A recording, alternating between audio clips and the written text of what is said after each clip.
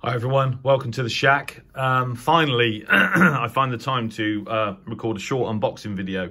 This is for a Bonito AntennaJet RF splitter, antenna splitter basically, a device that allows you to connect up to three receivers on one antenna, which is very useful when you've got way more receivers than you have antennas, which I do. Um, you like comparing the performance of antennas in real time, which I do, and um, uh, and you write articles about radios and you use other radios to compare their performance to, to provide basically a reference or a datum, which I do and which I've just done. And uh, although I've wanted one of these for a long time, the, the kind of driver for this was um, was having to write the article for Radio User Magazine for the ELAD FDM S3 because I knew straight away that, you know, what I needed to do was to calibrate the performance of that radio by comparing it against a similar radio. Um, and of course, that turned out to be the FDM Duo, which I've owned for a few years. So I knew I wanted um, an antenna splitter so as that I could just do back-to-back -back comparisons in real time. So when I contacted my friend Dennis Walter at Bonito, uh, he sort I said, you know, can you do me a deal? And he obviously he did. He, but he said you'll get a better deal if you wait a little bit. So um, so I waited, uh, and by the time this arrived a couple of weeks ago, two or three weeks ago, I'd already tested the S3 and written the article. Um, but it doesn't matter because um, uh, I used an antenna switch which isn't ideal, but okay. Uh, and in fact, uh, one of my, well, not, not, I don't know if he's a subscriber or not, but what I, someone commented, well, I can't believe that you don't have an antenna splitter, blah, blah, blah. Um, um, and, uh, you know, I, I, was I was one step ahead of him. I just, it just hadn't arrived. So, um, I used the switch and that was fine. You know, you can argue that conditions of propagation can change rapidly and by the time you've recorded a signal and you've flicked the switch and you've recorded it again on the other radio, the things change. But that's okay if as long as you're, you know, you're, you're, you're only spending a couple of minutes, which I did. But of course, that's not as good as just using a splitter. So you can literally just turn the AF gain up on one radio, down, down again, and then AF the AF gain on the, on, on, the other radio up. So the splitter was the way to go. And here it is, and it's finally arrived. Uh, well, it's not finally arrived. It's uh, uh, I've finally gotten around to uh, opening the box. So um,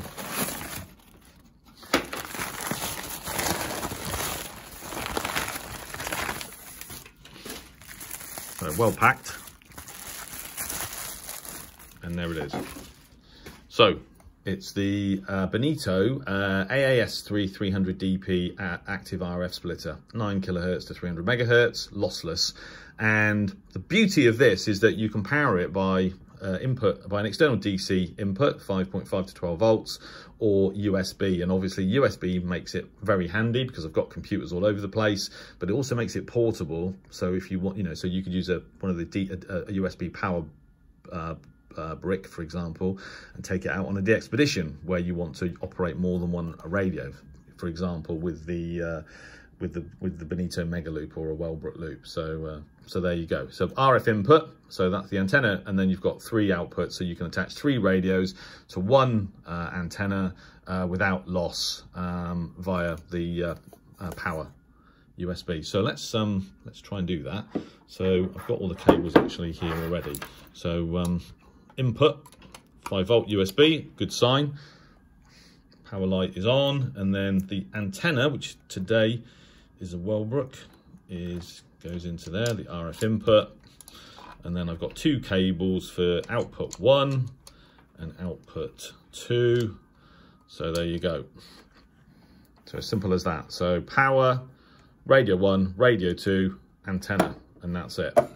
So uh, what I've done is, so the radio, uh, in, sorry, input one, this, this, which is this one here. So that goes to, that's going to my ICOM ICR 75, Shannon Volmet 5.505 megahertz. And that's going to my Yaesu FRG 7700 tuned to the same station. So if this is working correctly, we should have a strong signal on both. Two, one.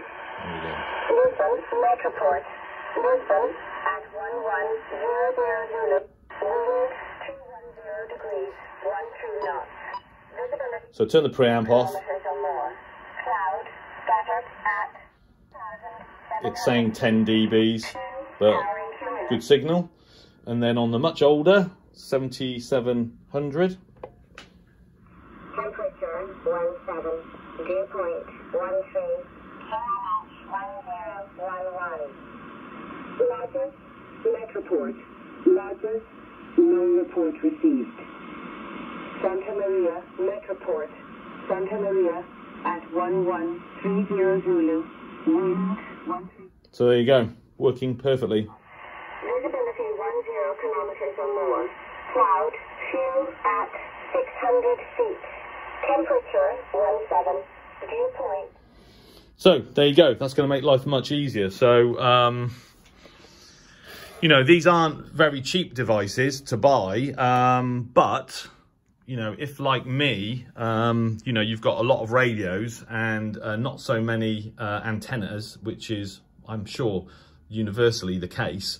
Um, having a splitter like this that allows you to run multiple radios uh, on one antenna, particularly if you're actively um, comparing uh, equipment, uh, I think is uh, it's well worth the money. And um, as expected, everything that Bonito have ever sent me, uh, that I've ever bought from them, works perfectly. I've never had a failure from them. Um, you know, it's built. This stuff's built in Germany, and uh, I highly recommend uh, all of their products. Um, you know, the, the, the, Mega Loop FX, it, you know, is, a, is an antenna that, that is my go-to antenna uh, for when I'm traveling um, and has been for, you know, two or three years. And will, and when I can travel again, I'll, I'll still be taking it with me. Uh, particularly, you know, when I go back to Australia, etc., which I will be going.